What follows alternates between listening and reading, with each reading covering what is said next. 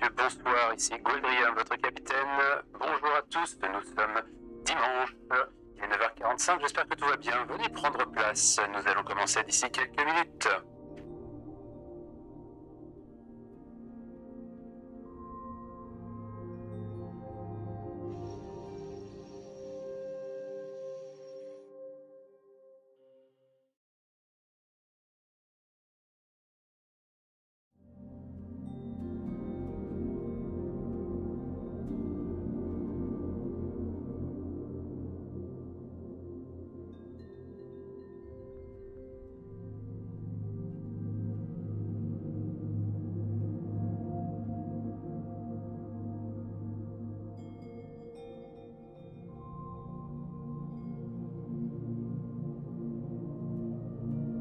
Bonjour à toutes et à tous.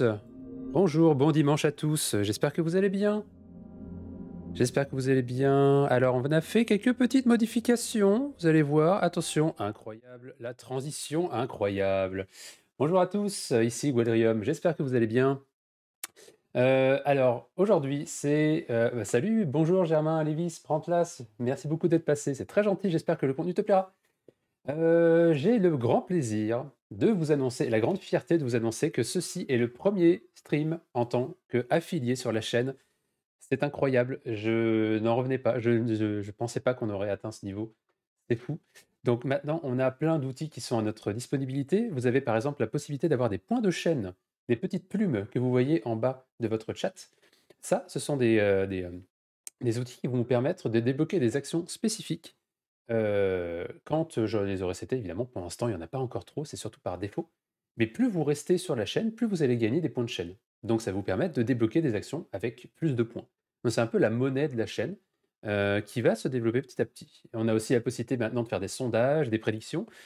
On va mettre tout ça en place tout à l'heure, heu, avec le clou, habituel sur, heu, On ira se balader un petit peu sur les mers pour découvrir la saison 6 un petit peu plus tard dans la journée.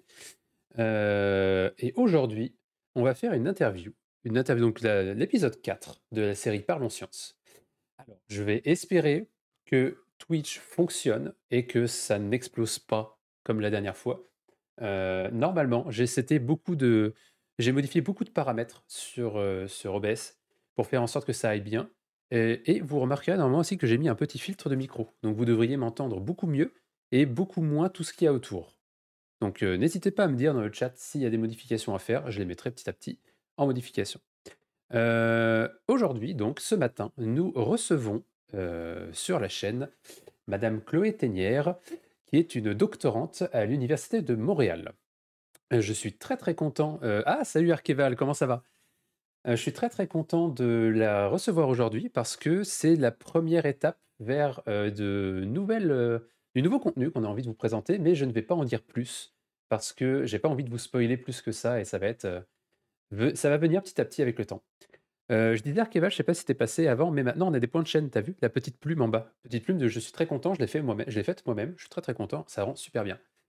Donc, sur ce, je vous propose d'accueillir Madame Chloé Ténière pour venir nous parler un petit peu de ses affaires. Alors, laissez-moi couper la musique, je remets le son. Bonjour Chloé. Allô, allô tout le monde. Hop. Bonjour Chloé, donc merci beaucoup d'être passé aujourd'hui, merci d'avoir accepté mon invitation. Et mon Dieu, Super Tenia, mais qu'est-ce que Super Tenia qui offre le premier sub de la chaîne à Arkeval. Je m'excuse Chloé, euh, je, je, n'en reviens pas. Super Tenia, c'est le premier sub. Alors je te conseille aussi de te sub toi aussi, non pas parce que ça me donne de l'argent, mais c'est parce que maintenant tu auras débloqué le petit badge fondateur de la chaîne. Et ça, ça c'est très très rare et il n'y en aura plus pour tout le monde. Donc pense à te subber toi aussi si tu veux avoir ce badge fondateur et tu peux après ne plus avoir de sub par la suite, tu l'auras toujours. Bref, c'est tout. Mais Super Tenia, incroyable. Elle te dit bonjour d'ailleurs. Super Tenia te dit bonjour Chloé. Bonjour Super Tenia. Euh, ouais, Super Tenia qu'on connaît évidemment hein, et j'espère qu'elle va très bien. Donc, je disais, avant d'être interrompu par ce magnifique cadeau euh, très généreux Super Tenia, bonjour à toi Chloé. Bonjour à tout le monde. Ouais, alors déjà, merci beaucoup d'avoir accepté de venir à mon micro aujourd'hui. Euh, euh, c'est très apprécié et euh, je suis content de voir aussi qu'on essaye un peu avec d'autres disciplines parce que la semaine dernière, nous avons parlé un petit peu de, de, d'atomistique. Enfin, pas la semaine dernière, mais il y a quelques années. il y avait de l'atomistique, donc c'était pas non plus, voilà quoi. C'était un petit peu loin de mon champ d'expertise, mais c'était vraiment passionnant. Donc cette fois-ci, on revient un petit peu sur, euh, sur, sur le domaine de la biologie. La biologie. Donc si, si tu veux bien, je, veux bien te- je, je te demanderai de te présenter un petit peu. Qui es-tu et que fais-tu? Eh ben, comme tu as dit, donc, je suis Chloé et je suis maintenant en cinquième année de doctorat à l'Université de Montréal, donc à l'IRIC. Euh, et puis je suis arrivée en Montréal en 2018 pour commencer ma thèse. Donc j'ai fait tout mon parcours universitaire en France, euh, licence, master, avec euh, des stages en France, puis un stage à l'étranger aussi euh, à Glasgow, en Écosse. En Glasgow, waouh Donc ça veut dire que tu as beaucoup voyagé en fait dans ta, dans ta scolarité. Tu t'es un peu baladé partout. Ben, je dirais pas partout, mais en tout cas euh, en, en Écosse, puis à Montréal maintenant, puis on verra pour la suite euh, si il y, y a encore un autre pays à explorer. Ah bah j'espère bien, attends. Donc IRIC, Institut de recherche en immunologie et en cancérologie, donc à l'Université de Montréal. Donc ça fait cinq ans Exactement. que tu es, que es là-bas. Ouais. Sur quoi travailles-tu en fait à l'université? Euh, L'équipe dans laquelle je suis, c'est une équipe de signalisation cellulaire, donc savoir tous les signaux de communication euh, à l'interne d'une cellule ou entre plusieurs cellules. Euh, et moi, plus spécifiquement, c'est un projet appliqué au cancer du sein, parce que donc c'est vraiment un institut qui quand même fait une grande partie de sa recherche appliquée à la cancérologie. Euh, et puis j'ai différents projets, mais en tout cas tous les projets convergent sur une même protéine qui s'appelle ERK3. Donc je pense qu'on aura le temps de revenir sur euh, comment Oui, tout à euh, enfin ce que ce que qu'est une protéine plus spécifiquement. Oui, tout à fait. Euh, donc, ok, donc, donc le, cancer du sein. Donc, dans ton, dans ton travail, tu te places à peu près à parce que le but de ça, j'imagine, c'est de traiter le cancer du sein. Je ne vais pas dire de guérir parce que c'est peut-être pas le mot qu'il faut dans le cas du cancer, mais de traiter le cancer du sein. C'est bien ça? Ouais, ben, dans un premier temps, déjà comprendre euh, ce qui aboutit au cancer. Puis donc mon projet dont, dont je vais parler aujourd'hui, c'est plus appliqué aux métastases. Donc c'est comprendre euh, quelles pourraient être des cibles en fait euh, qui seraient des pistes de traitement euh, à cibler pour, pour effectivement peut-être développer de nouvelles thérapies euh, pour traiter Hmm. le, cancer du sein, sachant que c'est quand même des perspectives à long terme par rapport à ce qu'on fait tous les jours euh, au labo, mais il faut passer par là en fait pour que pour après aller plus loin en termes de, de, de développement de nouveaux médicaments. D'accord. Donc, tu fais une recherche un petit peu plus fondamentale pour essayer de développer des, des pistes, des pistes de, de, de médicaments. Je trouve que ce serait intéressant après, un petit peu plus dans la, la- la- la- dans la- la- la- un peu plus tard dans l'interview, qu'on parle un petit peu justement de quelles sont les différentes étapes que tu peux faire pour arriver justement à un traitement qui sauve des vies. Parce que Ouais. c'est quand même, ce qui est quand même incroyable dans ta recherche, c'est que le but dans, ta recherche et dans la science que vous faites, c'est que le but, c'est quand même de sauver des vies. C'est ça, on part de quelque chose de très fondamental pour qu'après ça soit un jour appliqué à la clinique. C'est vraiment le, le principe, euh, même si ça prend des années, euh, on est un peu la première pierre à l'édifice euh, dans le processus. Ok, donc tu as parlé plutôt de la signalisation cellulaire. Je, tu m'as proposé d'avoir un petit outil euh, pour la première fois qu'à la place d'avoir une présentation PowerPoint, on va avoir un côté un petit peu plus, euh, je vais dire visuel, avec un petit whiteboard euh, que tu as proposé. Je trouve que l'idée est juste géniale. Et en fait, tu vas pouvoir nous dessiner et nous proposer un petit peu de- de- d'expliquer ton projet avec un petit support graphique que tu peux faire. Donc, je, je t'en prie, la- la- le, le- le- le stylo est à toi. Parfait. Alors, euh, peut-être commencer d'abord, euh, donc, euh, comme je disais au début, que mon, mon- mon projet est vraiment appliqué au développement de métastases. Donc, peut-être euh, partir au début de, de la genèse de, de ce qu'est une tumeur, puis comment on aboutit à des métastases, parce que c'est peut-être pas très, clair. On entend beaucoup le, le mot métastase, puis c'est souvent un, un mot qui fait peur, puisque c'est associé malheureusement souvent à un mauvais pronostic, et qu'on n'aime pas l'entendre, ce mot, mais est-ce qu'on sait vraiment euh, euh, comment, comment ça, ça, ça arrive à un métastase Euh, Une métastase, pardon. Donc là, vous devez bien voir une, une première petite cellule. Euh, quand on parle de, de cancer, ça parle toujours de, de cellules saines, en fait, qui, pour des raisons X ou Y, vont acquérir des erreurs.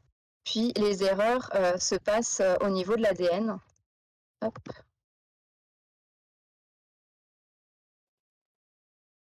Ah oui, alors là, Est-ce que tu peux l'agrandir. Comme ça, par exemple? Ouais. Ouais, Sur les côtés. Tac. Mais alors, ça fait disparaître la petite cellule. Effectivement, il va falloir que tu la, tu la replaces. Ouais. Ok. Yes, parfait.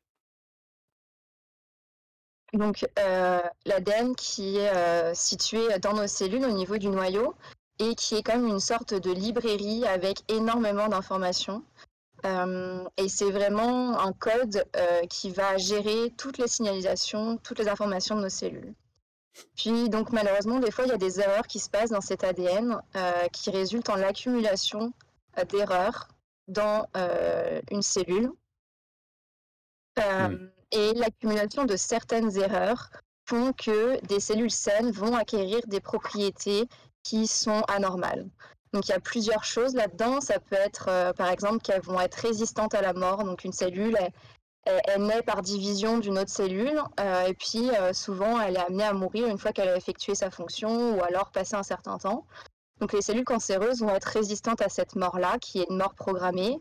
Euh, elles peuvent avoir la possibilité aussi de se diviser beaucoup plus rapidement. Donc une résistance à la mort et une capacité à se proliférer plus rapidement, on comprend bien que ça va être des cellules qui vont très rapidement s'accumuler puis envahir l'organe dans lequel elles se développent.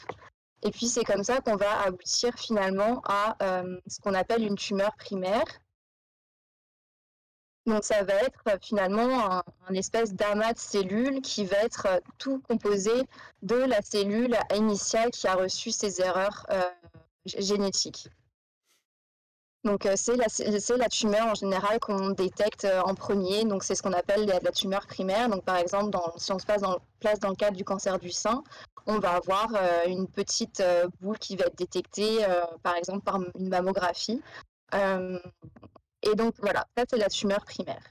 Et puis les- ce qu'on appelle métastase, c'est euh, la génération en fait d'une tumeur, d'une autre tumeur qu'on pourrait dire aussi une tumeur secondaire, mais à distance. Donc à distance de l'organe dans lequel la tumeur primaire s'est développée. Donc, ce serait quand même un petit bout de, ta- de ton amas qui serait parti pour transfor- Alors. se transformer en tumeur secondaire, comme tu parles. On va voir ça plus tard. En général, c'est juste une cellule en fait qui quitte la tumeur primaire, qui arrive à voyager dans le corps pour se retrouver dans un autre organe cible. Puis là, elle va reprendre sa prolifération, elle va reprendre sa division. Et encore une fois, d'une seule cellule, on va se retrouver à des millions de cellules qui vont faire un amas de cellulaire qui va être visible par l'imagerie. Euh, donc, euh, ça peut être, euh, par exemple, dans le cadre du cancer du sein, ça peut être dans, des, dans le poumon, généralement, euh, dans euh, le foie, dans les ganglions lymphatiques, parce que c'est des organes qui sont très proches, en fait. Donc, euh, en les cellules vont aller métastaser plus rapidement dans ces sites-là. Et puis, donc, c'est là où on comprend, en fait, la différence entre la tumeur primaire et des métastases. C'est que si on a des métastases d'un cancer du sein dans le poumon, ça provient initialement d'une d'une tu- d'une tumeur de, de, de- de cancer du sein, en fait. Hmm. Donc c'est pour ça qu'on différencie, même si on a des, mé- des métastases dans le poumon, c'est des cellules de sein, et c'est pour ça qu'on dit que c'est des métastases de, cancer du sein et non pas un cancer pulmonaire. Hum, Justement, c'était ma, ma question. C'est que quand tu parles vraiment des cellules qui se sont transformées donc pour avoir cette prolifération, c'est vraiment une, cellules d'un tissu particulier. Et de fait, tu, tu parles de- du sein, c'est un organe, le poumon, c'est un organe, et c'est comme si tu avais transféré des cellules d'un organe vers un autre, finalement, mais de façon incontrôlée. C'est ça, exactement. Euh, on peut, euh, on peut parler rapidement justement de, de ce processus métastatique. On parle même de cascade métastatique, tellement qu'il y a des événements successifs qui doivent se faire dans un ordre précis pour arriver d'une tumeur primaire à un métastase, à une métastase. Je sais pas pourquoi je veux dire un métastase ce matin. Euh, on peut peut-être enlever euh, ce qu'il Tu y veux a que, là. tu veux que j'enlève euh, Ouais, j'enlève l'ADN? je le remettrai euh, s'il faut. Pas tout mettre. Oula, tac. C'est une grande image, on va peut-être pouvoir la- Hop, la je réduire dézoome, un petit t'inquiète. Yes, j'ai.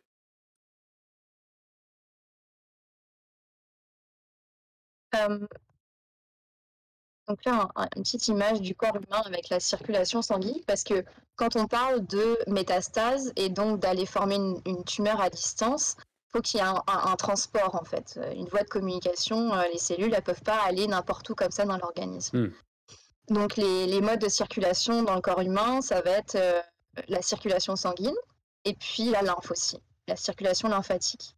Ça va être les deux réseaux où il va y avoir un transport rapide, facile de cellules d'un site à un autre. Donc, euh, si on reprend euh, la tumeur primaire, ce qui va se passer pour aller former une métastase, euh, ça va être qu'il va y avoir une cellule qui va se détacher des cellules. parce que normalement, il y a des jonctions. On, comprend bien que dans une tumeur comme ça, solide, les cellules sont vraiment liées entre elles. Puis, une cellule cancéreuse, donc elle va se détacher de ces adhésions entre cellules puis elle va partir en fait du site euh, de la tumeur primaire et elle va aller rejoindre donc les canaux, euh, les, canaux, euh, les, vaisseaux sanguins ou les vaisseaux lymphatiques. Hmm.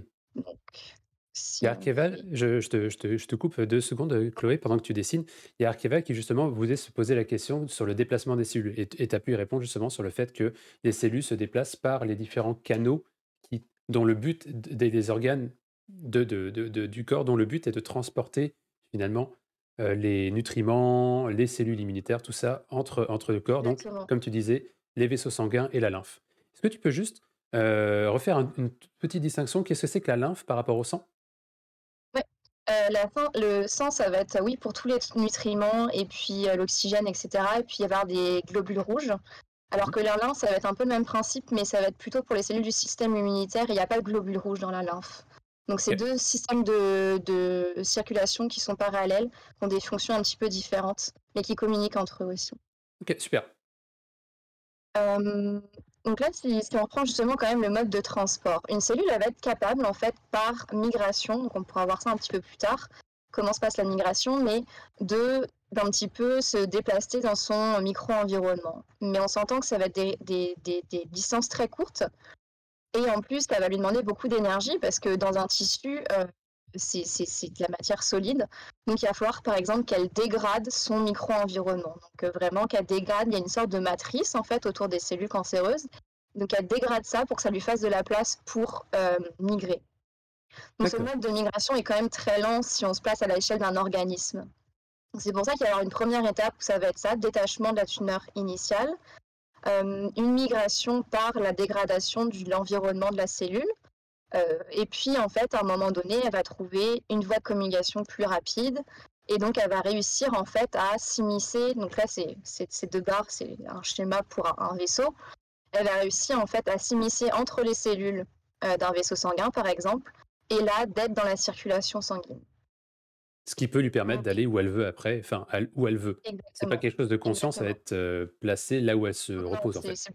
Quelque chose de très physique en fait, finalement, tout ça. Mais déjà, dans cette première étape, on peut voir que euh, une cellule métastatique, elle va être déjà très agressive parce qu'elle va acquérir des propriétés que n'ont pas les autres cellules de la tumeur primaire. Elle va acquérir les propriétés de se détacher, de migrer, de dégrader son environnement, d'arriver sur un vaisseau, d'adhérer aux cellules des vaisseaux sanguins, puis de passer à travers, et enfin d'arriver à survivre euh, hmm. dans la circulation sanguine. Parce qu'il faut bien comprendre que dans la circulation sanguine, euh, il y a énormément de pression, ça va vite. Euh, c'est pas un environnement euh, où normalement une cellule est censée, est censée résister. Hmm. Donc il y a plein de cellules qui normalement, si elles se retrouvent dans cette position-là, elle, elle, va mourir aussi. par une autre forme de mort, mais elle va mourir alors que là, cette cellule métastatique avait réussi à survivre dans, dans cet environnement hostile. Mmh, je comprends. Juste, euh, est-ce que aussi, est-ce que le, avant juste d'aller plus loin, si tu parlais du déplacement dans le sang, est-ce que ça arrive que, enfin j'imagine que oui, mais euh, c'est, ça, fait partie du processus de faire en sorte que ces cellules peuvent être aussi euh, capturées par nos systèmes de défense ou tu vas y revenir un petit peu plus tard? Oui, effectivement, ça peut être là aussi où elles peuvent être en contact avec le système immunitaire. Mais bon, c'est pas mon, trop mon projet de doctorat, là, mais euh, c'est tout, tout, ce qui est euh, autour de l'immunologie en cancérologie, c'est un grand champ de recherche, hmm. puis extrêmement prometteur. Hmm. Euh, mais l'une des capacités aussi des, des cellules cancéreuses, c'est de se cacher du système immunitaire. Ah ouais? Donc en fait, elles, elles, expriment à leur surface des choses qui permettent de mettre, de, comme faire dormir en fait les cellules du système immunitaire et qui empêche l'action euh, du système immunitaire envers les cellules cancéreuses. Parce que c'est vrai que normalement, les cellules cancéreuses devraient être reconnues, même si c'est des, cellules de nous, donc du soi, elles sont reconnues par les systèmes du, euh, du système immunitaire parce qu'elles sont considérées comme aberrantes, justement avec toutes ces erreurs qu'elles ont accumulées. Finalement, même si c'est des cellules qui au début viennent de nous, elles, elles sont plus de nous, quoi, avec les hmm. erreurs. Mais elles arrivent en fait, euh, malgré ça, à, à, empêcher l'activation du système immunitaire envers elles. Donc ça, c'est un des problèmes majeurs aussi pourquoi euh, du développement du cancer en fait. C'est qu'on n'a pas de mécanisme de défense au bout d'un moment. Il y, a, des cellules qui vont être euh, à un stade précoce par exemple, qui vont être bien reconnues par le système immunitaire, puis qui va faire que le, le cancer va jamais se développer. Mais au bout d'un moment, en fait, quand il y a vraiment accumulation trop d'erreurs, euh, le système immunitaire sera plus efficace. Ok, c'est passionnant ça. Puis comme tu dis, il y a une, il y a une branche complète sur ce, sur ce truc-là, c'est fou. Ouais. Non, il y, a, il y, a beaucoup, beaucoup de thérapies qui se développent euh, en ce moment dans ce domaine. C'est vraiment euh, pour beaucoup de cancers, et notamment en plus des cancers qui, qui offraient peu de perspectives thérapeutiques jusqu'à présent. Hmm. Je comprends. Euh, si on reprend un peu le processus métastatique, euh, une fois que notre cellule elle est dans le système sanguin, elle survit à tout ça, euh, elle va pas pouvoir se développer dans le système sanguin. C'est pas là qu'elle va pouvoir reprendre sa division cellulaire pour reformer une autre tumeur. ce qu'il faut qu'elle fasse, c'est qu'elle fasse le processus inverse, c'est-à-dire que cette fois, elle, s'agrippe aux cellules encore des, vaisseaux sanguins. Puis, si on veut schématiser rapidement, faire un zoom sur cette partie-là, euh, des cellules du système sanguin vont se présenter comme ça, assez aplaties. Puis c'est quand même assez hermétique. Donc en fait, la cellule cancéreuse, elle va réussir à s'accrocher sur ces cellules, puis vraiment se faufiler à travers les, cellules du système sanguin pour ressortir dans un autre environnement, euh, dans un tissu. Donc par exemple, dans le cas de cancer euh, du sein, ça va être les ganglions lymphatiques, le foie, les poumons. Et donc là, dans son nouvel environnement, donc imaginons que ça va être euh, un poumon ici. Mmh J'ai même prévu la photo du poumon. Waouh. Si ça veut bien s'afficher. Bon, en tout cas, c'est un poumon, ce carré. et donc euh, là, elle va reprendre sa prolifération, puis de une cellule, on va passer à deux, puis à trois, etc. Et puis c'est là, en fait, où vraiment on va voir la formation de ce qu'on appelle une métastase. Mmh. Donc c'est pour ça aussi en général. Ouais. Donc tu parlais justement que ça se prolifère dans, ce, dans cet endroit-là. Donc j'imagine que c'est parce que aussi, le, comme tu disais, le sang, c'est un élément qui n'est pas propice au développement de la cellule, en tout cas pour ce type de cancer, parce que on peut parler aussi d'autres, d'autres, les, leucémies par exemple, mais ça, moi je suis pas expert là-dessus, mais bref, pas le sujet. Euh, cette, cellule-là, elle va se mettre justement dans cet organe, elle va pouvoir proliférer, mais est-ce qu'il y a une, est-ce qu'on peut avoir une idée, par exemple, de la, de la, proximité avec laquelle la cellule peut, euh, peut infecter, on va dire, d'autres organes Parce que j'imagine que ta, cellule dans le sang, elle peut avoir une, durée de vie, ou tu sais, une distance de, de, de, de, enfin pas de prolifération, mais de, tu sais, de, où elle peut, elle, peut, elle peut avancer justement. Parce que quand tu parles que le, le poumon est infecté, c'est que c'est parce que c'est proche du sein, par exemple, ou rien à voir? Bah, ça dépend de la circulation sanguine, puis ça va aller dans les organes en fait, où, euh, où la circulation sanguine est assez importante. Mes connaissances en anatomie restent assez limitées, mais, euh, mais il y a des organes cibles en fait de préférence en fonction des types de cancer, en fonction évidemment donc la, la localisation. Euh, plus la distance va être courte, mieux ça va être. Puis mmh. en fonction aussi, c'est ça, de, plus ça va être proche via les os sanguins, plus ça va avoir tendance à proliférer dans ces organes-là. Mmh, je comprends.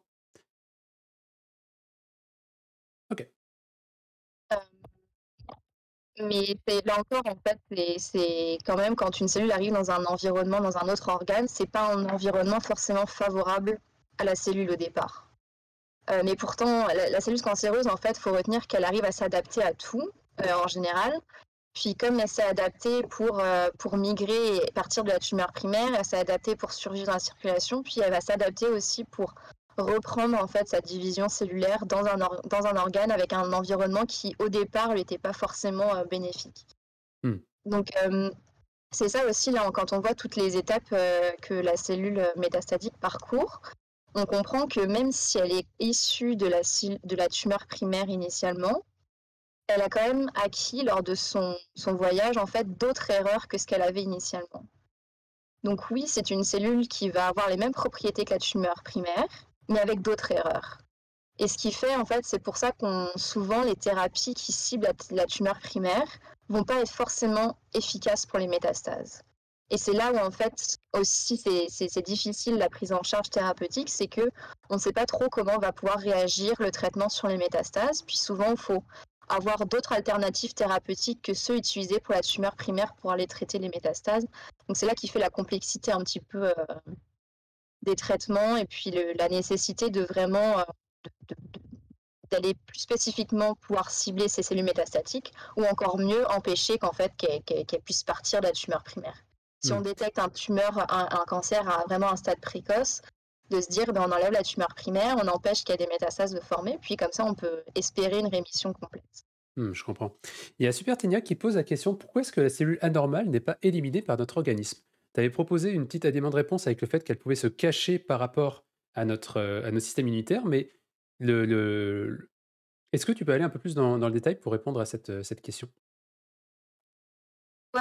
Si Pourquoi est-ce que... éliminée justement par le système immunitaire ou par d'autres moyens? Bah, est-ce que, par exemple, il pourrait y avoir d'autres moyens que le système immunitaire pour éliminer la cellule ou il faut vraiment que ça passe par notre système de défense? Mais ça peut. C'est notre système de, défense principalement, mais aussi normalement, quand une cellule a des, erreurs, quand ces, erreurs sont assez restreintes, la cellule le remarque en fait. Elle va se dire Ah, mais là, j'ai eu une erreur. Là, par exemple, je, je me divise trop vite, puis je, vais mourir de moi-même en fait. C'est une espèce de mort euh, euh, programmée quand il y a trop d'erreurs. Le problème, c'est que les cellules cancéreuses, elles échappent aussi à ça en fait, à ces barrières de défense qu'a une, cellule à l'interne, on va hmm. dire. Une espèce d'horloge qui dit euh, Ah non, là, quelque chose qui ne va pas, il faut qu'on s'élimine de nous-mêmes en fait. Est-ce que c'est le processus de l'apoptose ou rien à voir? Oui. Ouais. Non, non, ça c'est l'apoptose. Donc c'est ce qu'on appelle la mort euh, cellulaire programmée. Euh, j'adore ce mot-là, apoptose. Euh, qui va être déclenché quand il y, a, quand il y a des erreurs au niveau de l'ADN, des fois trop d'erreurs, puis les erreurs normalement sont réparées. Parfois, les, la réparation ne se passe pas, et puis c'est dans le cas où la réparation ne se passe pas, où il y a quelque chose qui dit à la cellule, la réparation c'est pas faite de, la bonne manière, donc je vais mourir. Comme ça, hmm. ça va éviter qu'il y ait un problème. Mais donc c'est pour ça que non, plus un, cancer n'arrive pas euh, comme ça du jour au lendemain, c'est que faut qu'il y ait beaucoup, enfin pas forcément beaucoup, mais en tout cas des erreurs euh, qui soient complémentaires les unes aux autres pour échapper à toutes ces, barrières qui sont mises. D'accord. Et Archeval demande une petite. Euh, il a fait une réflexion justement sur le fait que les métastases qui ont une modification tout au long de leur trajet, il propose que c'est un moyen naturel pour les métastases de s'adapter, se protéger, si je comprends bien. Donc est-ce que ça, c'est un moyen naturel qui se, qui se fait dans tous les cas de métastases, d'une part, et d'autre part, est-ce que c'est vraiment les métastases qui choisissent de s'adapter ou elles subissent un petit peu cette adaptation qui est finalement bénéfique pour elles?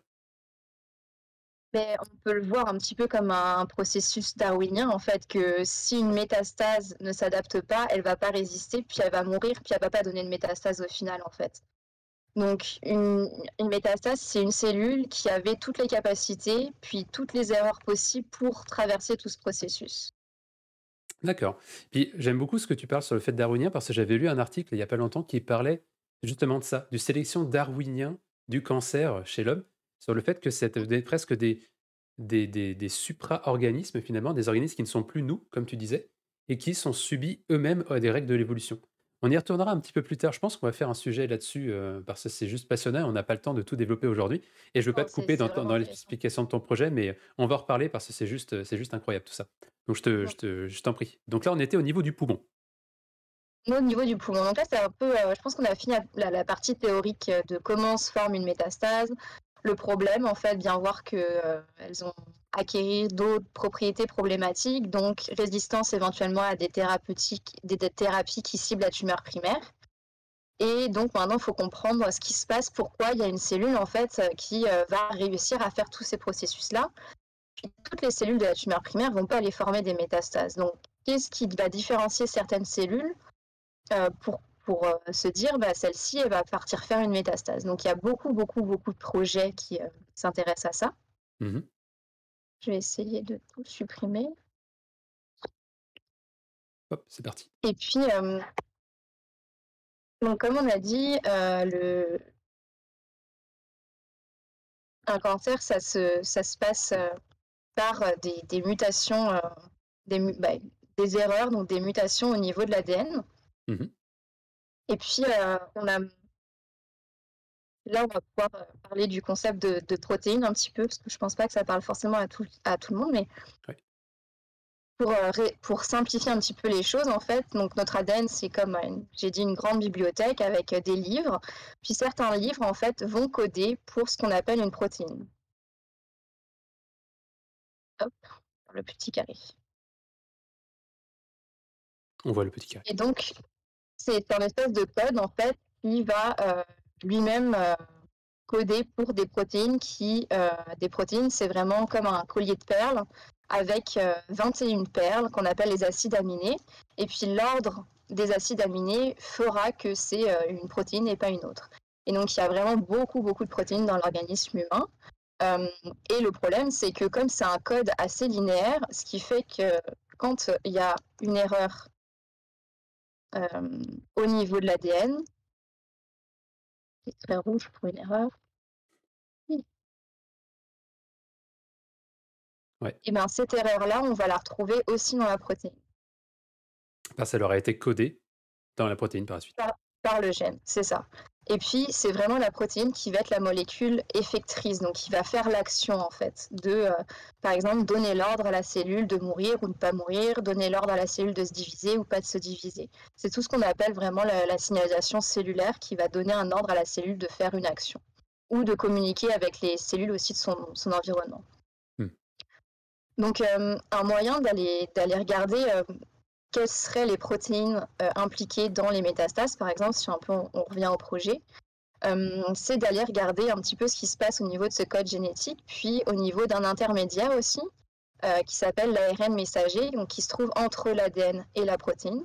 Et l'ARN messager, c'est quelque chose qui est assez relativement facile en fait à aller voir. Donc il y a un moyen, il y a des bases de données qui ont été faites autour de ça.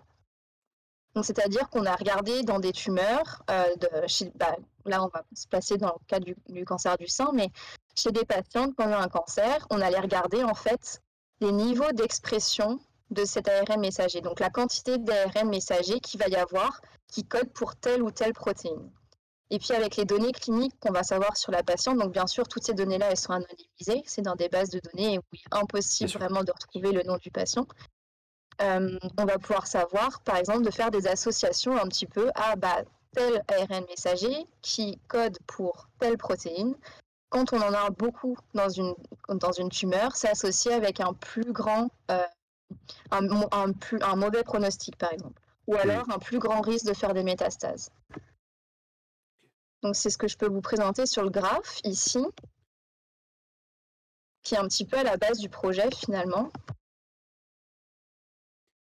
Donc un graphe qui provient directement de tes recherches. Un graphe de recherche, c'est ça, qui vient d'un site qui s'appelle KMPlot, si jamais vous voulez ex- explorer un petit peu ça. Euh, bon, ça paraît peut-être compliqué, mais en fait, c'est très simple. Euh, la, la courbe en rouge, c'est justement euh, les patientes qui ont le plus de la protéine que j'étudie, qui s'appelle ERK3. C'est pour ça, quand on regarde expression, dans la légende, c'est marqué high. Et en noir, à l'inverse, c'est euh, les patients qui en ont le moins. Donc en fait, c'est comme si ça avait été divisé en deux groupes à partir d'un seuil. Et puis ce qu'on regarde là sur euh, les abscisses, c'est euh, les mois, le, mois de survie en fait après diagnostic. Donc on se rend compte qu'en fait en rouge, plus la patiente a de quantité de cette protéine-là, moins sa survie sera bonne. Et à l'inverse, plus moins elle aura de cette protéine-là, plus sa survie sera bonne. Puis j'ai pas mis le graphe là, mais c'est aussi un peu la même chose avec les métastases. On se rend compte que les patients qui ont le plus de cette protéine-là ont le plus de risque de développer des métastases. Donc à partir de données cliniques, on peut se dire que peut-être que cette protéine vraiment a un rôle justement dans le développement du cancer du sein, sa progression et sa progression métastatique. Hmm. Est-ce que- c'est clair jusque-là ou... Ouais, euh, c'est c'est vraiment, vraiment beau de voir justement ce genre de graphe-là, où tu as, le, tu, as, tu as vraiment une différence entre les deux, entre les deux courbes. quoi. C'est ça qui est, qui, Oui, qui est c'est quand même ça. Assez intéressant. exactement. C'est très clair. Après, c'est sûr qu'il y a, des, y a des, des statistiques qui sont faites là-dessus, mais là, c'est très visuel, euh, même sans parler de statistiques. Puis, juste pour vous expliquer, on, espère, on voit à peu près des, des paliers. Mhm. Donc, en fait, un palier, c'est lié à un, un événement à chaque fois. Donc malheureusement, là, un palier, sachant qu'on regarde la survie générale, c'est que ça veut dire qu'il y a eu un décès dans le groupe Ah, bien sûr. Oui, parce que tu as un C'est nombre fini. Un nombre fini de participants. C'est pour ça qu'on voit donc euh, que, que... Ouais, voilà. C'est- C'est c'est la survie générale qu'on qu'on voit sur ce graphe. Donc, plus tu as une expression de ton, euh, de ton messager, plus tu as une mortalité finalement. C'est ça, parce que là, oui, quand on dit expression, là, justement, c'est ça, on se regarde, c'est une expression du messager. Mais comme le messager, il va coder pour la protéine, on peut en déduire que on va retrouver les mêmes choses au niveau de la protéine. Puis nous, après, on va s'intéresser vraiment euh, à, étudier la protéine et pas l'ARN messager. Parce que l'ARN messager, c'est vraiment juste le code qui va dire, je- il faut produire de la protéine. Euh, Hmm. Ok. J'enlève la flèche.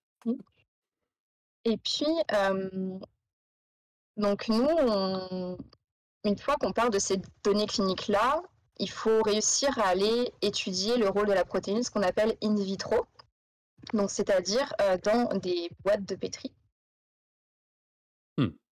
Donc, c'est-à-dire sorti de l'organisme finalement pour être étudié au laboratoire. C'est ça, sortie de l'organisme, euh, parce que c'est beaucoup plus simple en fait. Les études cliniques, ça met longtemps, et on ne peut pas les tout regarder, on ne peut pas aller regarder euh, spécifiquement le rôle de la protéine euh, dans la cellule, c'est- vraiment plus difficile. Donc le système qui a été développé maintenant depuis, je pense la première lignée qui a été lignée cellulaire humaine qui a été développée, c'est dans les années 70. Ok. Euh, Lignée cellulaire, c'est-à-dire? Lignée cellulaire, c'est-à-dire qu'on prend des cellules humaines à partir d'un cancer. Donc, par exemple, la première lignée, c'était les ELA. Je pense que c'était un cancer, je ne vais pas dire de bêtises, mais euh, utérus, je pense. Ok. Euh, et qui, justement, la propriété des, cellules cancéreuses, comme on a dit, c'est d'être résistantes à la mort. Donc, elles sont en quelque sorte immortelles, qui fait qu'on a la possibilité de les cultiver indéfiniment dans des boîtes en plastique qui ressemblent à ça, en laboratoire. Et donc là, on a la, la possibilité de faire un grand nombre d'expériences différentes, parce qu'on va avoir toujours du matériel, en fait. Elles vont se diviser, se diviser, puis... euh, et puis on va avoir quand même comme ça des, ressources possibles. Donc là, c'est ce qu'on fait euh, avec une lignée justement de cancer du sein, donc qui est vraiment issue d'une patiente en fait qui, euh, quand on fait une biopsie par exemple, ou quand on va résecter la tumeur par chirurgie, un bout de la tumeur peut être utilisé pour alors, c'est pas du tout fait de manière systématique, hein, euh, Mm. loin de là, mais ça peut être fait pour essayer d'aller garder la, la- la- la- en faire une lignée en fait pour aller aller quand même avec des cellules qui euh, viennent d'une vraie tumeur, puis qui ont les caractéristiques d'une tumeur euh, cancéreuse mammaire euh, initiale. Et juste pour vous montrer à quoi ressemble cette lignée-là, par exemple, qu'on utilise. Donc là, c'est une lignée de cancer du sein qui est dit triple négatif. Donc c'est un cancer du sein qui est assez agressif parce que triple négatif, ça veut dire que justement, il va pas avoir euh, des signaux de communication qui sont normalement amplifiés dans d'autres types de cancers. Je pense que c'était pas très clair, j'explique. Il y a certains types de cancers du sein, donc c'est notamment les cancers hormonodépendants. On sait très bien ce qui aboutit en fait à la suractivation de la division cellulaire. C'est notamment en fait des, récepteurs qui sont à la membrane des cellules qui vont être vraiment en trop grande abondance, puis c'est ces, récepteurs-là qui donnent l'ordre à la cellule de proliférer. Donc ces cancers-là sont très facilement traitables puisque en fait il suffit de couper la- la- l'activité de ces récepteurs, couper l'activité. Il n'y a plus d'ordre à la cellule de lui dire de se diviser et le cancer euh, est traité comme ça de manière assez efficace. Hmm. Le problème des cancers dits triple négatifs, c'est qu'en fait ils n'expriment pas euh, ces récepteurs-là. Ça veut dire que leur erreur ne, parvient, ne, ne provient pas de ces, euh, ces récepteurs-là, ce qui fait que toutes les thérapies qu'on connaît bien, qui sont très efficaces, ne sont pas applicables à ce type de cancer du sein. Mmh. C'est pour ça que c'est un, type un des, des sous-types de cancer qui est quand même le plus difficile à traiter, même si euh, la prise en charge a été améliorée quand même, notamment avec un petit peu l'immun- l'immunothérapie. Euh, et c'est un type de cancer du sein aussi qui métastase facilement. Donc c'est pour ça qu'on est, on s'est focalisé dans ce type euh, de cancer du sein pour euh, l'étude. D'accord. Wow. Donc là, quand on voit les cellules, c'est vraiment euh, quand on les met dans, donc, euh, dans des, des boîtes en plastique comme ça, c'est ce qu'on observe au microscope, ce genre de cellules. Puis, Super. euh, Est-ce que je, je mets juste entre parenthèses, mais c'est fou de voir que les cellules, c'est pas quelque chose de rond.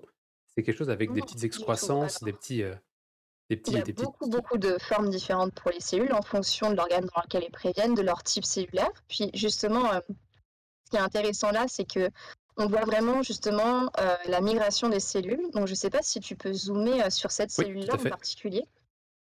Ouais. Et on voit que sur cette cellule, elle est vraiment en mouvement, c'est-à-dire qu'en fait, elle a des excroissances, comme tu disais, euh, qui lui servent d'aller, euh, de se projeter en avant, de s'agripper sur euh, le substrat sur lequel est, sur la... donc là c'est du plastique, hein, Mhm. euh, de s'agripper là, puis après elle va avoir une rétraction de la- de l'arrière de, la cellule, donc là où les adhérences elles vont s'enlever cette fois-ci, puis c'est un peu comme ça qu'elle va se, se, se mouvoir par euh, une, une succession en fait de, de traction vers l'avant, de rétraction vers la- de- vers l'arrière. C'est assez visible sur, la cellule d'à côté aussi. Est-ce que, Donc, est-ce que tu, euh, tu veux qu'on mette justement tes petites vidéos un petit peu après? euh, on pourrait mettre tard, je pense. Ok, pas de souci. Et ça, est-ce que c'est ce qu'on appelle des pseudopodes ou rien à voir? Euh, c'est un type de, de, de protrusion, ouais. Les Ok, pseudopodes. ça marche. Donc c'est là on voit vraiment quand on regarde quand même toutes les cellules qu'elles sont pas du tout statiques, hein, même dans une euh, dans une boîte comme ça. Après ça dépend des cellules encore, mais en tout cas ce type de cellule là est, est vraiment mobile. Euh, D'accord. donc maintenant qu'on a eu ces cellules là, vu qu'on veut étudier donc le rôle d'une protéine en particulier, pour étudier le rôle d'une protéine par rapport à des à d'autres cellules, il faut qu'on en change son niveau.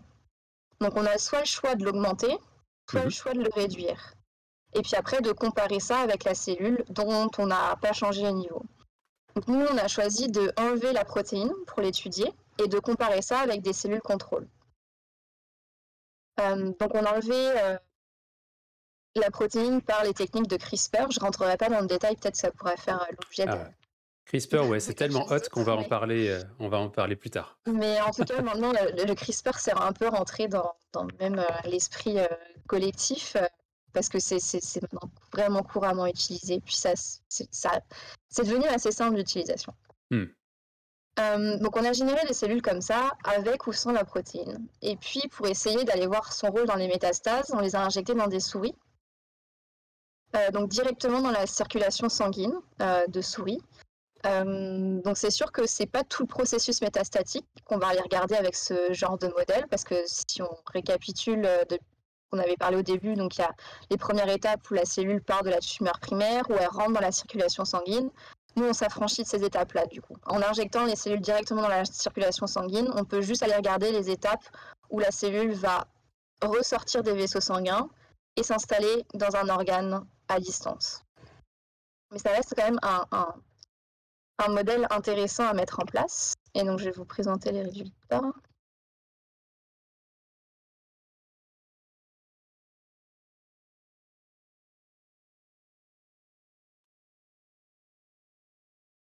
Fait, je vous ai mis les Ouh. résultats juste pour le, le, can- le, le foie. On a regardé le foie et le poumon. Oh. C'est les sites euh, de métastases qui sont retrouvés euh, aussi, aussi euh, chez les patients.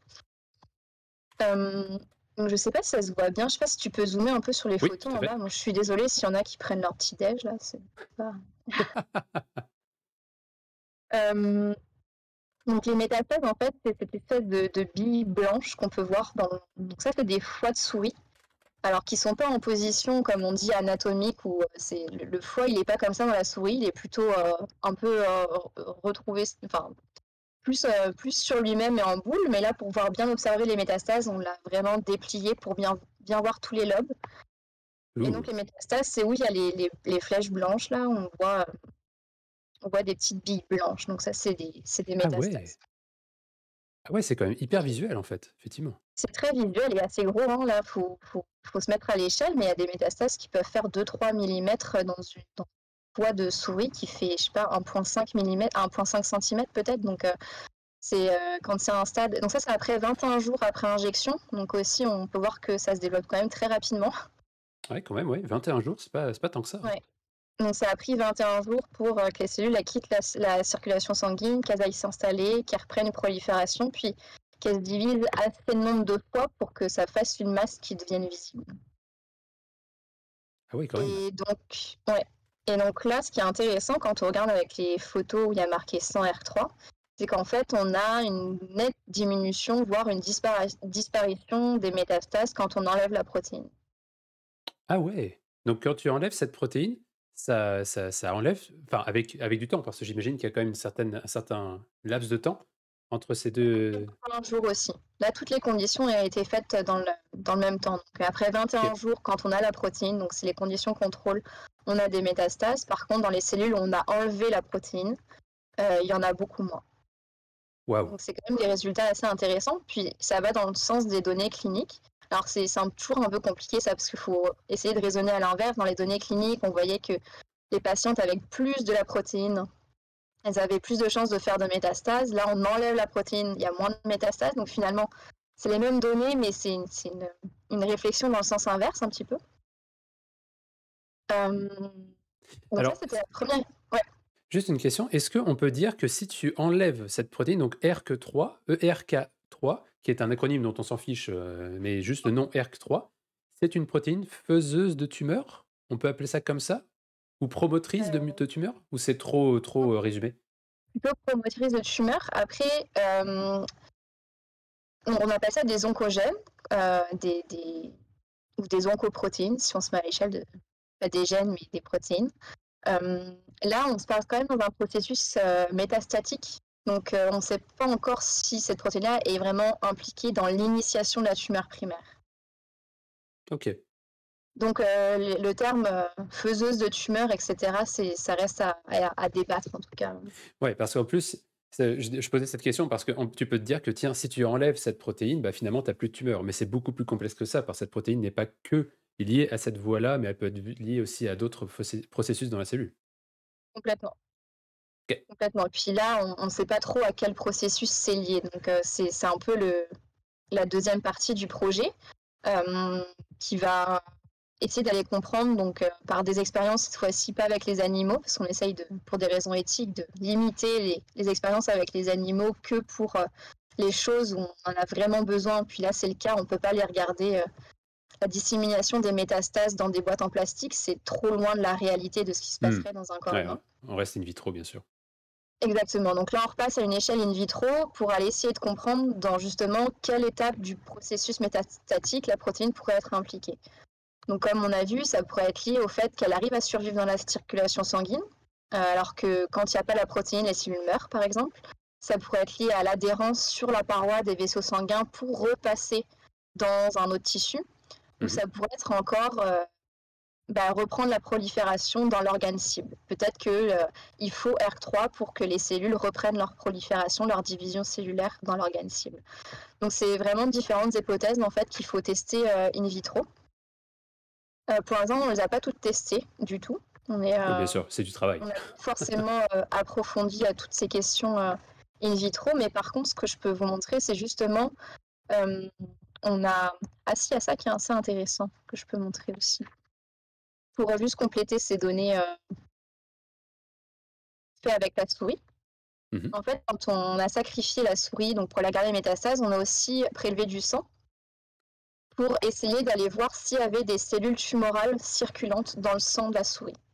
Et donc là, c'est ce qu'on peut voir dans le pétri. On voit des espèces de points blancs. Ouais. Donc en fait, c'est des pétris où on a mis le sang de la souris, on a laissé ça pendant pas mal de jours, on a rincé pour enlever tous les globules rouges, etc. Et puis en fait, on voit qu'à chaque fois qu'il y a des points blancs, finalement, c'était qu'il y avait une cellule cancéreuse qui a réussi à adhérer au plastique, puis qui a reformé une, espèce de colonie en fait. Ah ouais. Même dans un, processus. Même dans un processus hors de la souris finalement, enfin dans un milieu hors de la souris, c'est incroyable. Puis quand on regarde la photo à côté, donc c'est une photo des colonies. qu'on voit, mais prises au microscope, on voit qu'elles ont vraiment la même morphologie que les cellules qu'on avait injectées précédemment. Ah oui, carrément, oui. Donc c'est vraiment des, cellules qui, qui potentiellement, en fait, elles sont allées se développer dans un organe, donc foie et poumon, puis elles sont repassées dans la circulation sanguine pour éventuellement aller refaire des métastases à distance. Ok. Parce qu'on estime qu'après 21 jours après sacrifice, c'est pas possible que ce soit des cellules qu'on avait initialement injectées. 21 hmm. jours survivre dans la circulation sanguine, c'est beaucoup, donc c'est très peu, très peu probable que ce soit ça. Donc c'est plutôt des cellules qui sont repassées. Et encore une fois, euh, si on regarde en rouge, donc en rouge, c'est les conditions où il n'y a pas la protéine. On observe qu'il n'y a pas de cellules justement qu'on retrouve dans le sang. Donc euh, il y a peut-être un rôle aussi de la protéine sur le fait que sur le processus de repasser d'un organe à la circulation sanguine. Alors, il y a Arkeval qui, qui pose une question. Il avait une question concernant les animaux. Est-ce que les métastases fonctionnent-elles de la même façon que dans un métabolisme humain chez la souris ou est-ce qu'il y a des différences qui peuvent être liées si c'est un mammifère, etc. Non, il y a des différences qui sont liées, euh, ça c'est certain. Euh, il y a des différences parce que les, protéines ne sont pas forcément euh, conservées dans leur, intégralité entre la souris et l'homme. Euh, mais ça reste quand même un organisme qui, va être euh, plus facile en fait à utiliser. Puis dans ce qu'on regarde là, on travaille quand même avec des cellules cancéreuses humaines. Donc ça, on, garde cet aspect-là. C'est sûr qu'après là, par exemple dans la souris, vu qu'on met des cellules cancéreuses humaines, euh, c'est des, des, souris qui n'ont plus de système immunitaire, parce que sinon elles reconnaîtraient les cellules humaines, euh, humaines même si elles sont cancéreuses et qu'elles sont censées se protéger du système immunitaire, le système immunitaire de la souris pourrait réagir contre ces cellules-là et puis ça, ça poserait problème. Hmm. Par exemple, on fait quand même des expériences dans un modèle où on s'affranchit de ça, du système immunitaire, donc c'est sûr que c'est pas idéal du tout. Euh, mais c'est pour ça qu'il y a plusieurs modèles animaux qui sont, qui sont présents, qui sont complémentaires et qu'on utilise en fonction de la question à laquelle on veut répondre. Et puis après, c'est pour ça aussi qu'on passe à des données cliniques euh, pour essayer de voir si ce qu'on observe dans des souris, effectivement, bah, comme j'ai montré au début, euh, si on, prend des, des, cordes de patientes et on regarde l'expression, la survie, est-ce qu'on retrouve euh, les mêmes choses pour essayer de, de faire des conclusions qui peuvent être, le, essayer d'être le plus proche de la réalité, la réalité possible. Mmh. Ça, parce que ce que tu dis, et surtout, ce que je trouve vraiment intéressant, c'est que c'est comme si vous preniez un, un, mécanisme, enfin plutôt un, environnement simple, dans le cas de, par exemple, in vitro puis la souris, puis après, en ayant compris comment ça se passait là-dedans, vous allez justement dans un modèle un peu plus complexe qui est dans la réalité avec des essais cliniques pour voir si vos intuitions de ce que, ce que vous avez découvert à une échelle plus fine peut être aussi applicable à l'échelle de la, de, de la personne et de la réalité, en fait, finalement. Non, c'est exactement ça. Mais C'est passionnant. pour ça que. Parfois, euh, c'est pour ça aussi que parfois on, voit des choses in vitro et, et finalement il y a des projets qui vont jusqu'en clinique, puis en clinique ça marche pas parce qu'il y a, y a toujours des paramètres dont on peut pas dont on peut pas euh, avoir en fait in vitro. Puis, euh, puis malheureusement, c'est pas tous les projets qui, qui vont jusqu'en clinique avec succès. Bah oui. Et j'imagine aussi que c'est en conditions contrôlées, donc il y a quand même plus de choses que vous pouvez, parce que la biologie, c'est jamais quelque chose qui est très simple, et il y a tellement de facteurs confondants. Ce fait, bah tiens, tu sais, ça, pourrait y avoir une, une, interaction avec d'autres protéines, donc du coup, ça change complètement ce qu'on observe, etc. etc. Donc, euh, Exactement. c'est compliqué. Ah, c'est passionnant. Et puis, euh, les, derniers résultats que je peux vous montrer, c'est les vidéos, justement, si tu les as, ouais, Bien sûr.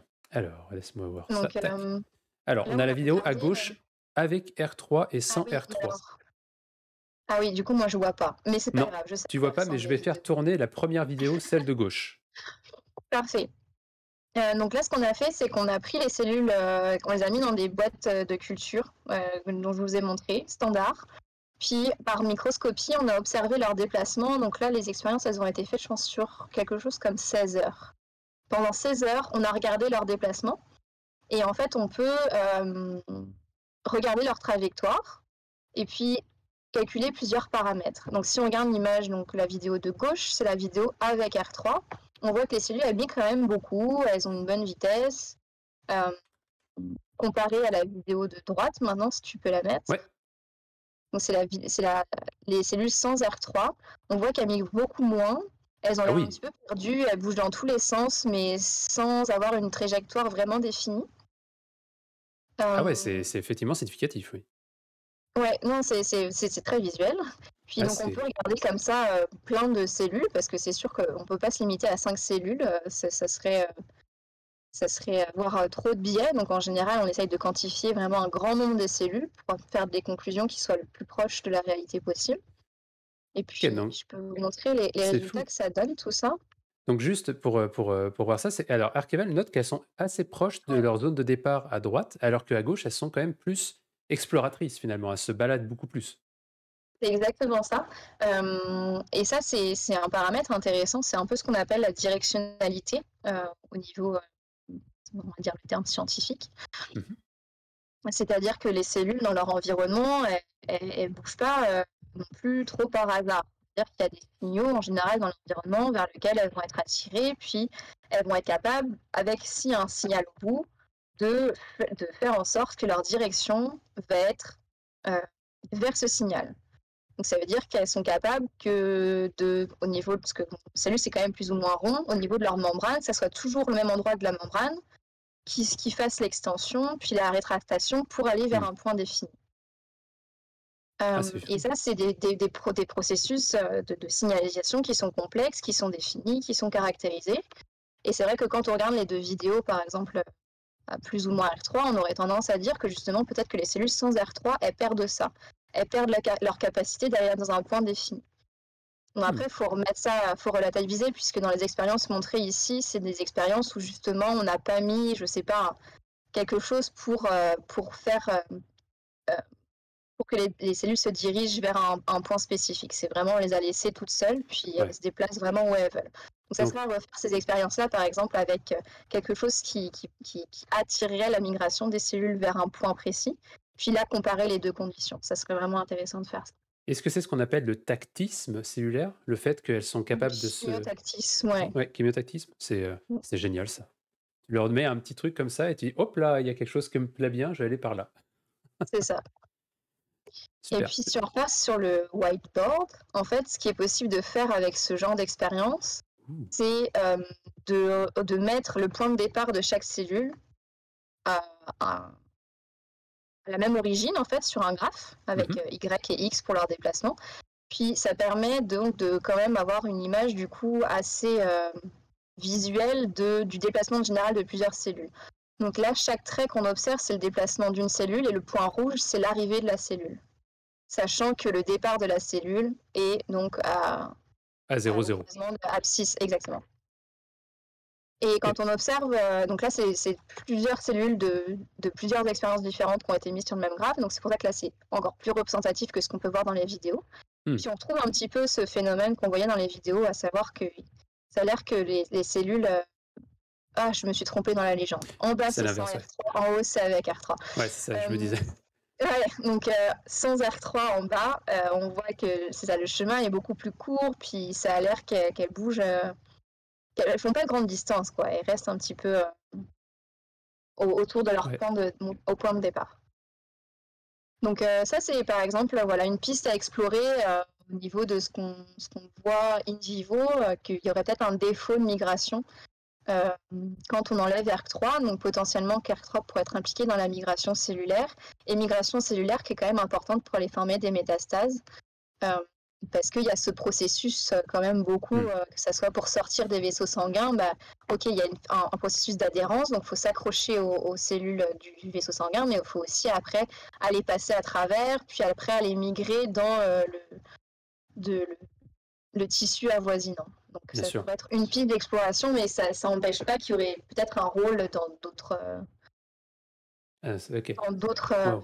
dans d'autres euh, étapes, comme bien sûr, bah, justement l'adhérence, la prolifération dans l'organe cible, etc. bien sûr. Ah ouais, donc avec, avec ton, ton travail, tu t'es intéressé donc à ERK3 et à voir comment est-ce que ça avait un impact justement sur la mobilité cellulaire qui peut être reliée ensuite au processus de métastase. De métastase.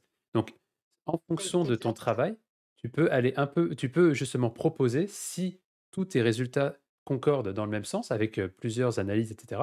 Montrer que peut-être que ERK3 serait une, euh, une piste que si on, si on inhibait ou si on modifiait la dynamique de R3, peut-être que ça modifierait le phénotype de, enfin phénotype, de toute façon, le, le, le, le, mécanisme de métastase. Oui, c'est exact. Euh, ça serait une perspective à long terme, effectivement. Euh, on a la chance avec ARC3, c'est que c'est on appelle ça une protéine kinase. Alors kinase, ça veut dire que son activité, euh, c'est d'aller mettre des, résidus phosphates, des groupements phosphates sur d'autres protéines. Puis en fait, les, résidus phosphates, c'est vraiment la signalisation cellulaire qui donne un ordre, qui va activer quelque chose. Et cette activité-là, euh, la chance qu'on a là-dedans, c'est quand même c'est quelque chose qu'on peut cibler. Alors je dirais pas facilement, mais en tout cas qu'on peut cibler. Hmm. Euh, donc ça permet de, là, là, le problème, c'est que dans, encore dans ces expériences-là, on ne sait pas si c'est lié à cette activité-là, parce qu'on a enlevé complètement la protéine. Donc il faudrait éventuellement faire des expériences euh, avec des, une forme de la protéine qui n'a plus d'activité. Puis si on retrouve les mêmes résultats, là, effectivement, ça serait euh, vraiment intéressant de développer des molécules qui vont cibler son activité pour essayer d'aller voir euh, si ça modifie euh, le nombre de métastases éventuellement, d'abord chez la souris, puis après, pourquoi pas chez l'homme, dans plusieurs Et peut-être montrer, justement, développer des nouveaux, des nouveaux médicaments, etc. etc. Incroyable. Et il y a Arkeva qui, qui, qui, analyse justement sur, sur ça la preuve que les cellules sont des êtres vivants comme nous, entre parenthèses, entre guillemets, elles ont un fonctionnement pour aller à un endroit qui est intéressant, essentiel pour leur fonction.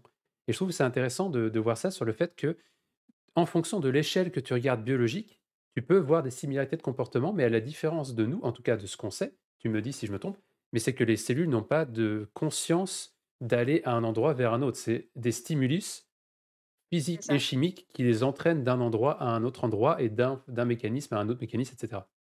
Exact. Non, c'est exactement ça. Donc le concept d'échelle est extrêmement important au niveau d'écologie et de la biologie même d'ailleurs. Tout à fait. Tout à bah, fait. moi j'ai trouvé ça génial, la façon dont on a présenté avec le whiteboard, c'était très clair. Euh, moi j'ai tout compris euh, alors que je suis pas biologiste, euh, biologiste moléculaire.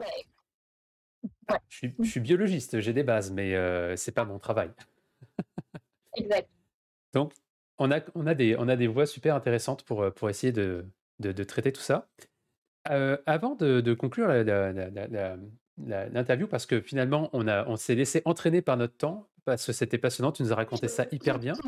Je voulais que tu reviennes un petit peu sur le fait que donc toi, tu es doctorante au, à l'Université de Montréal. Donc ça fait cinq ans que tu es là-dedans. Qu'est-ce que. Alors, sans trop de sel, qu'est-ce que le processus du doctorat, qu'est-ce que tu as pensé et que tu penses actuellement, sachant que c'est pas fini, mais du processus de doctorat? Sans trop de sel. On est dimanche, il y a des chocolatines, tout va bien. je pense que ça permet vraiment beaucoup d'apprendre à rebondir très rapidement. Parce que là, c'est très beau de voir les résultats comme ça, mais c'est pas forcément la réalité, c'est jamais linéaire comme ça. C'est 90% d'échecs et 10% de, de choses qui fonctionnent. Euh, donc si, si on met trop de temps à rebondir, euh, ça avance pas les choses. faut être capable de se dire ok c'est comme ça, puis l'accepter, puis le lendemain euh, penser à une autre expérience à faire pour, pour, pour, pour, contourner le problème, on va dire. Ça c'est un bon apprentissage, je pense, de manière générale. Hmm. Ben, être résilient en fait, je pense. Ça pas mal. Adaptatif, résilience, ça c'est sûr. Et euh, donc là, tu es donc vers la fin de ton doctorat. Petit à petit, tu, approches à la fin. Euh, dans ton processus, donc, tu vas avoir, on en avait discuté aussi avec d'autres personnes qui faisaient un doctorat sur la chaîne un petit peu avant, sur le fait que tu vas avoir ton processus de soutenance, d'écriture de, la thèse, etc. Euh, je sais que tu as eu la chance d'avoir un article de revue que tu as, que tu as publié avec succès, n'est-ce pas hein, En tant que premier auteur? Ah, et je... pas pas premier auteur? Auteur, évidemment, auteur avec un E hein, à la fin. Euh, je trouve que c'est intéressant parce que justement, tu as eu la possibilité, pendant ton doctorat, d'avoir la production d'un article scientifique. Mmh et ça, je veux qu'on en reparle dans une prochaine émission parce que le processus de littérature scientifique, c'est quelque chose qui est à discuter. Voilà. Il y, aurait des choses à dire euh, dessus, effectivement. Et si tu avais quelques mots, parce que je pense que, euh, comme beaucoup d'étudiants en doctorat, euh, c'est difficile, et même de postdoc, hein, j'en fais les frais, c'est très difficile de se projeter dans l'avenir. Et Arkeval propose de dire on sent le sel. C'est un peu ça, c'est que, comme tu disais, il faut être résilient et adaptatif, mais aussi pas trop avoir d'idées sur l'avenir définitif parce que tu sais pas de quoi l'avenir est fait. Mais donc, dans, qu'est-ce que si par exemple dans un monde idéal tout se passait super bien, que tu sais que tu avais que tu, vas avoir ta thèse. Donc, mettons que tu vas avoir ta thèse, tu vas avoir euh, tu sais, une, très bonne soutenance, etc. Et euh, que tu avais, par exemple, des, possibilités de travail après, vers où tu voudrais aller, toi, par la suite? Qu'est-ce que tu pourrais avoir comme, euh, comme avenir qui t'intéresserait après le doc? C'est une bonne question. je pense que j'ai pas encore la réponse très claire à ça. Euh, a toujours la possibilité de faire un postdoc, donc continuer à faire de la recherche assez fondamentale quand même dans la recherche académique. Euh, sur un autre projet, sur notre thématique. En général, euh, souvent, on change un petit peu de thématique entre le doctorat et le postdoc. Ça, c'est la première option. Puis la deuxième option, euh, ça serait de faire la recherche, par exemple, de la recherche, et la recherche et développement, mais plutôt dans le privé. Donc, dans le privé, c'est un domaine que je connais beaucoup, vraiment moins, mais c'est quand même plus appliqué éventuellement que ce qu'on peut faire dans la recherche académique. Donc ça va être faire de la recherche, mais pour vraiment répondre à un problème précis, puis on va droit vers le problème. On se permet moins d'éventuellement prendre des chemins annexes qui pourraient être intéressants, ce qu'on a la, liberté de prendre euh, dans la recherche académique. De se dire, ah, ce résultat-là, euh, c'était pas prévu au départ, mais en fait, c'est super intéressant, j'ai envie de partir là-dedans. Et euh, bon, ça, c'est, par exemple, c'est l'histoire de mon deuxième projet de doctorat actuellement. C'était vraiment ça, c'était des, des, observations complètement lié au hasard au début, puis finalement ça a donné un beau projet. Donc euh, ça c'est la liberté de la recherche académique, mais hmm. euh, dans le privé ça peut être très intéressant aussi euh, de, de, de, faire quelque chose beaucoup plus appliqué en fait, et puis qui a peut-être un, un, impact, on va dire, plus rapidement que ce, que ce qui est fait dans la recherche académique. Puis on va pas se mentir qu'il y a aussi peut-être un peu plus de fond sur certains projets. Je n'osais pas le dire, mais effectivement, il y a un peu plus. Oui, je pense qu'on peut le dire. Puis euh, euh, fonds en termes de, matériel sur lequel on travaille, mais fonds aussi pour les salaires. Oui. Arriver à un point, ça peut être un facteur assez euh, important. Et si tu avais quelque, un, conseil à donner aux étudiants qui nous écoutent actuellement et qui voudraient, par exemple, aller sur la voie du doctorat, qu'est-ce que tu aurais à donner comme, comme conseil? Ils veulent faire un doctorat mais qui ne sont pas sûrs ou, qui, ou des gens déjà en doctorat? Non, des gens qui sont par qui se, qui se tiennent un doctorat, ça serait intéressant pour, pour moi. Ok. Euh, je pense que ça serait vraiment déterminer euh, ce qui les motive d'en faire un doctorat. Parce qu'il faut vraiment, je pense, partir avec une, une motivation euh, au sommet, parce que ça va dégringoler au fur et à mesure de la thèse, donc il faut partir de haut. Je vois pas de quoi tu parles. C'est vraiment important de euh, je pense qu'il faut faire un doctorat si on est vraiment sûr qu'on veut faire ça. Si on hésite, euh, il y a vraiment peut-être des questions à se poser. Je pense que si on hésite un peu au début, ça peut être plus compliqué ensuite. Euh, et puis, et puis bien choisir en fait le projet, l'équipe où on va aller, prendre le temps en fait de se poser les bonnes questions. Ouais, ça serait ça, prendre le temps de, de chercher, de, regarder ce qui nous plaît euh, en mm. termes d'environnement, en termes de ville, en termes de pays où on veut faire notre thèse. Euh, parce que c'est quand même long, donc c'est pas euh, forcément une décision à prendre à la légère. Non, ça c'est sûr. Ok. Bah, écoute, Chloé, je veux te remercier énormément d'avoir d'avoir participé. Merci à toi. Et moi, j'ai trouvé ça hyper clair. J'espère qu'on va pouvoir refaire des petits projets comme ça par la suite parce que bah, d'une part déjà tu m'as donné l'idée d'utiliser Whiteboard et je vais l'utiliser tout le temps parce que c'est génial.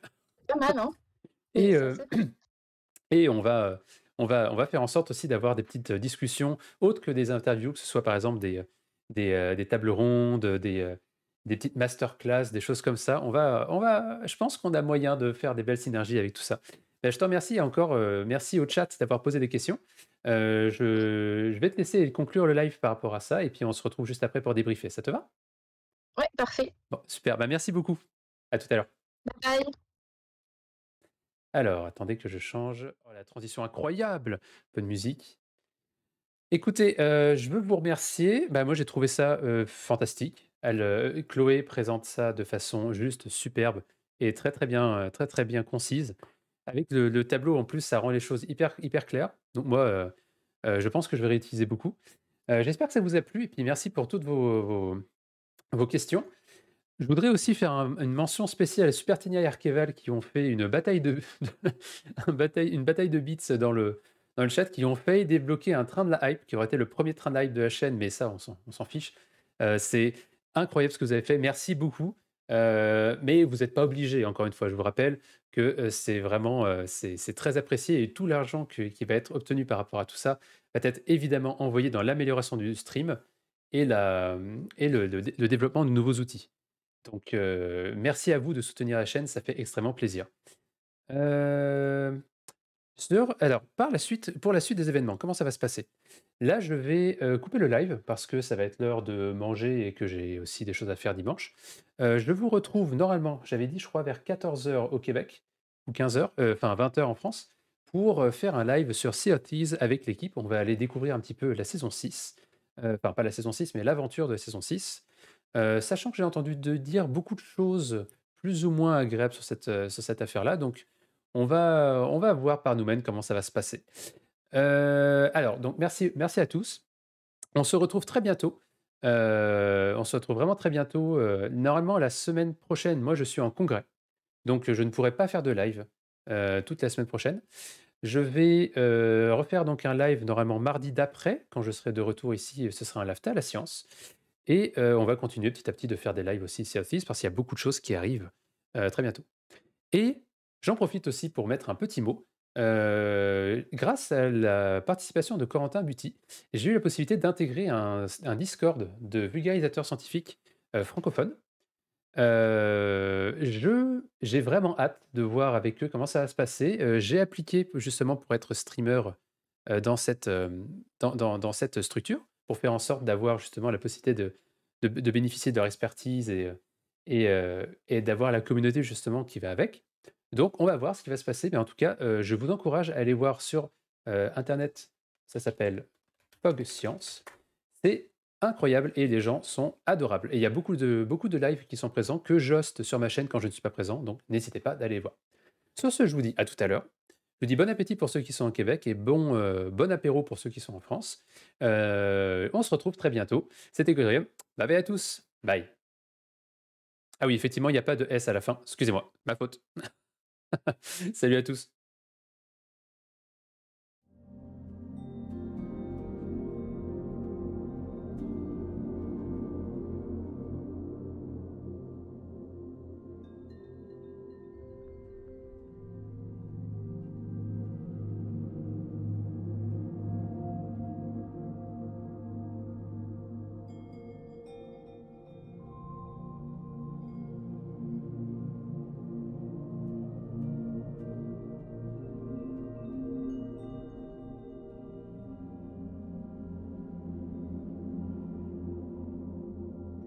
Je vous envoie chez Vulvi Queen qui fait un peu de certise aujourd'hui.